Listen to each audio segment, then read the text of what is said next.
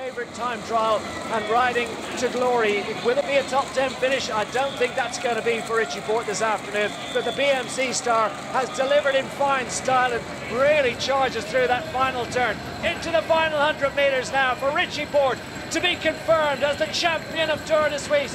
2018. He's going to ride it to the line. Victory for BMC in stage and overall as Richie Porte takes the overall success in Tour de Suisse and Stefan Kung is confirmed as the stage winner on stage nine.